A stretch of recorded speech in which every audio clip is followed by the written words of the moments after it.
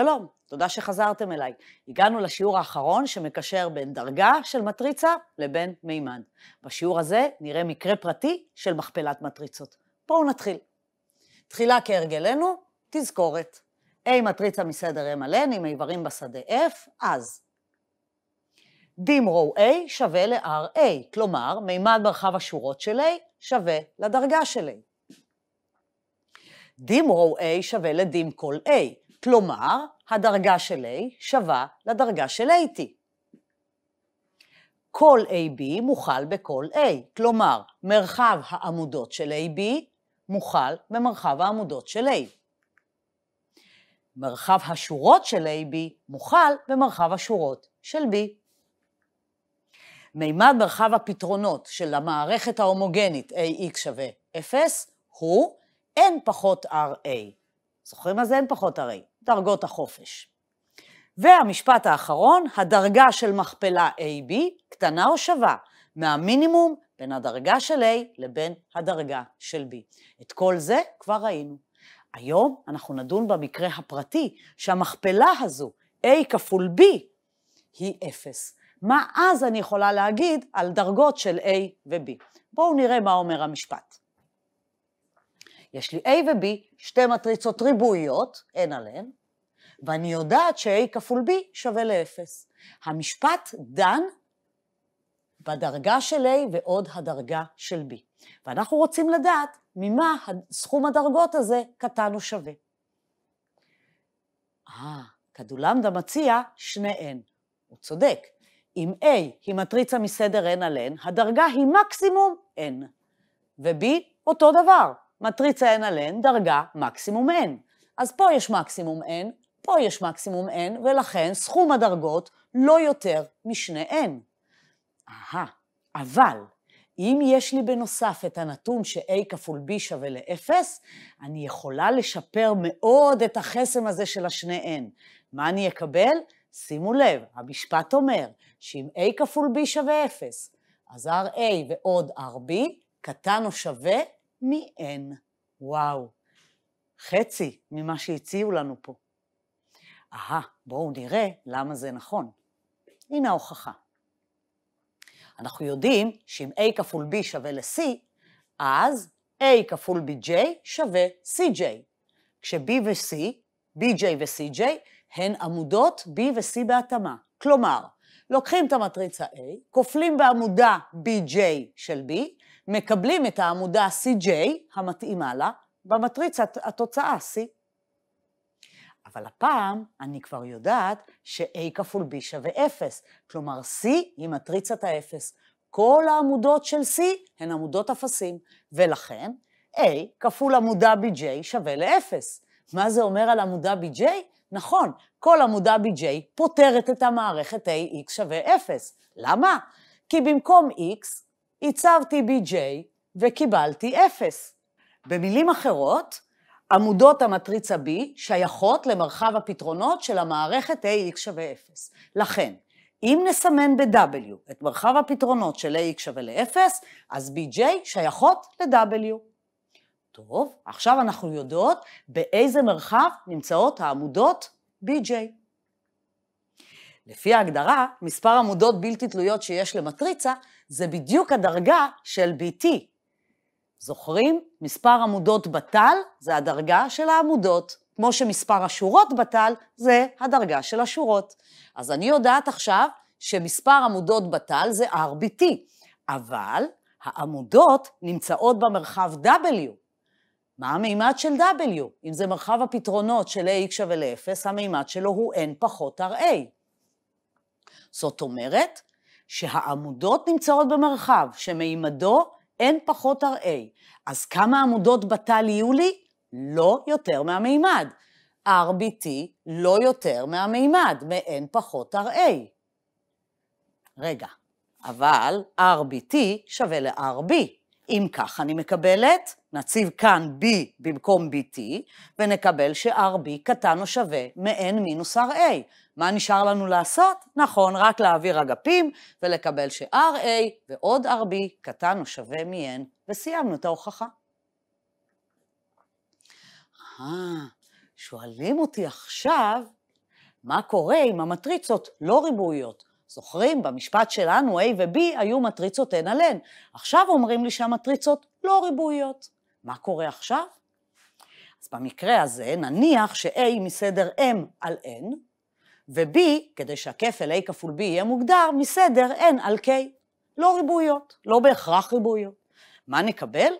אני יודעת ש-AB שווה 0, ולכן, בדיוק כמו קודם, העמודות של B, אם A כפול B שווה 0, עמודות B, כלומר BJ, נמצאות במרחב הפתרונות של AX שווה ל-0, שסימנו אותו ב-W. עדיין עמודות B שייכות ל-W. ומאחר ו-A מטריצה M על N, מה יוצא המימד של W? המימד של W הוא עדיין N פחות RA. כלומר, גם עכשיו נקבל ש-RA ועוד RB קטן או שווה מ-N. אבל הפעם צריך לזכור מי זה N. N זה מספר העמודות של המטריצה A. קודם, כל המטריצות ריבועיות, שורות, עמודות של A, של B, כולם N. עכשיו, לא. יש לנו M על N, N על K. N מינוס RA, זה אומר N מספר הנעלמים במטריצה A. ולכן צריך לזכור שכשאנחנו אומרים במקרה הזה RA ועוד RB קטן שווה מ-N, אנחנו מתכוונים למספר הנעלמים או מספר העמודות במטריצה A.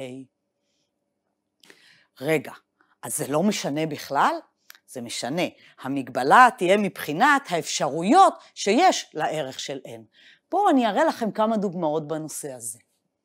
נסתכל על המטריצות הבאות. נניח ש-A מסדר 2 על 7, זוכרים n הפעם הוא 7, B מטריצה 7 על 2, 2 על 7, 7 על 2, הכפל מוגדר. ואני יודעת כמובן ש-A כפול B שווה 0, שזה הנתון בשביל לדון במשפט שלנו. אז מה אנחנו יודעים, מה אפשר להגיד על RA ועוד RB? נכון, לא יותר משבע, אמרנו, RA ועוד RB קטן או שווה מ-N, ומי זה N? מספר העמודות של A, שבהוכחה זה מספר הנעלמים במערכת AX שווה 0. אוקיי, אז A כפול B, סליחה, RA ועוד RB, לא יותר משבע. קטן או שווה משבע. אבל, שימו לב, אני יודעת שהמטריצות הן 2 על 7 ו-7 על 2.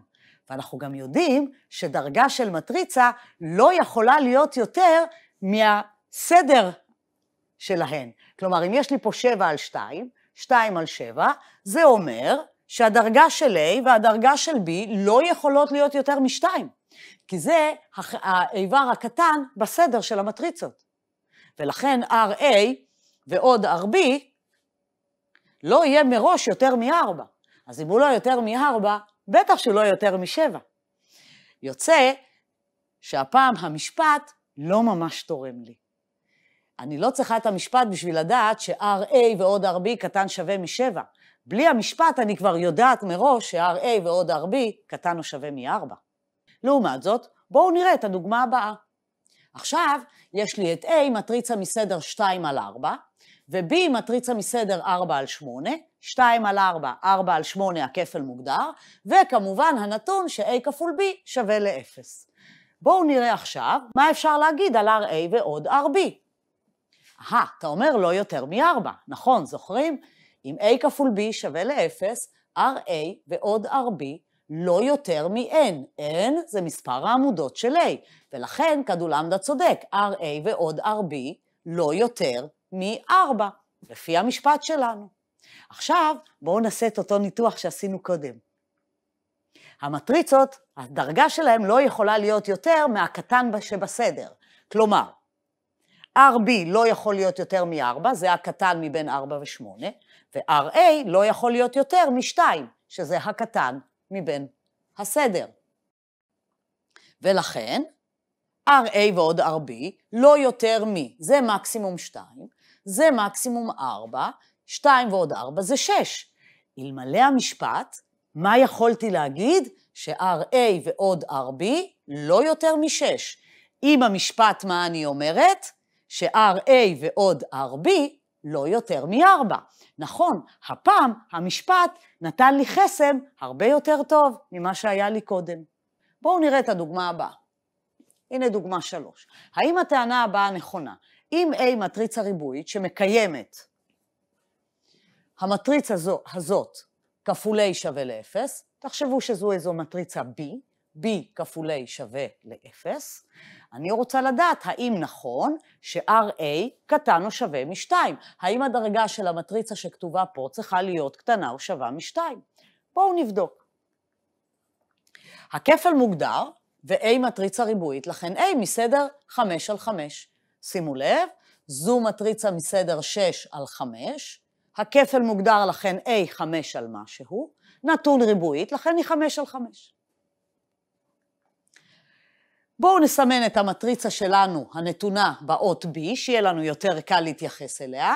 היא מדרגה 2, כי אני רואה שיש לי שתי שורות ראשונות בלתי תלויות, ואחרי זה השורה הראשונה פשוט חוזרות על עצמן עד לקבלת 6 שורות. ולכן הדרגה היא 2, מספר השורות הבלתי תלויות הוא 2. אז אני יודעת לפי המשפט שלנו, מאחר ו-B כפולי שווה ל-0, המשפט אומר ש-RB ועוד RA קטן או שווה 5. מי זה 5? נכון, מספר עמודות B. המטריצה שנמצאת מצד שמאל, מספר העמודות B, שהוא 5, ולכן RB ועוד RA קטן או שווה 5. רגע, אבל RB אנחנו יודעים שהוא 2. ולכן 2 ועוד RA קטן שווה 5. נעביר אגפים ונקבל ש-RA קטן הוא שווה 3. רגע, אז הטענה לא נכונה. RA לא חייב להיות קטן או שווה 2, הוא צריך להיות קטן או שווה 3. אני עדיין יכולה לקבל דרגה 3, ואז מה שכתוב כאן הוא לא נכון. אז הטענה לא נכונה, חפשו דוגמה נגדית. אתה שואל, מה תרם המילה ריבועית שהיה כתוב פה? האמת שזה לא לגמרי תורם. בגלל שאני יודעת שהמטריצה ריבועית והכפל מוגדר, אני יודעת שזה חמש על חמש ולא חמש על משהו. עכשיו נניח שלא היה נתון ריבועית. אם לא היה נתון ריבועית, היה יכול לקרות מקרה שבו A תהיה מסדר חמש על שתיים. אז אם A מסדר חמש על שתיים, ברור שהדרגה של A לא יכולה להיות יותר משתיים. שזה היה החלק הקטן, האיבר הקטן, בסדר של המטריצה. ואז הטענה הייתה נכונה, אתה שואל? אם לא היה נתון ריבועית, אפשר היה לקחת 5 על 2, ואז באמת הדרגה של A קטנה או שווה 2.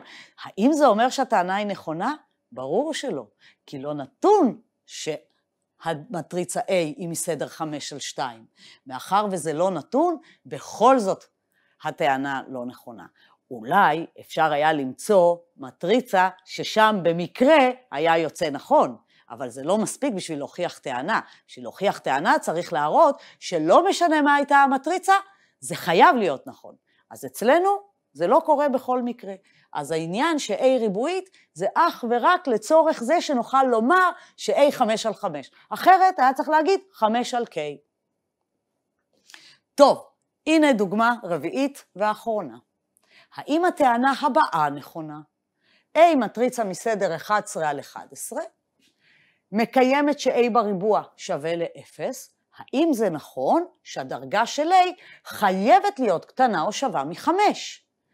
A בריבוע שווה 0, האם הדרגה חייבת להיות קטנה או שווה מ-5? בואו נבדוק. הפעם הטענה נכונה, בואו נראה למה. a בריבוע שווה 0 פירושו a כפול a שווה 0. זה כמו המשפט שראינו, a כפול b שווה 0, רק הפעם a ו-b שוות. לכן לפי המשפט שלנו, RA ועוד RA קטן או שווה מ-11. שני RA קטן או שווה מ-11, זה אומר ש-RA קטן או שווה מ-5.5.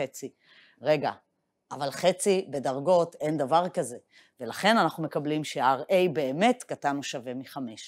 ואז הטענה שלנו נכונה. זהו חברים, סיימנו להפעם. בשיעור הבא נפתור עוד כמה תרגילים שקשורים לדרגות והמשפטים שכבר ראינו, ובזה נסיים את הפרק. תודה רבה לכם.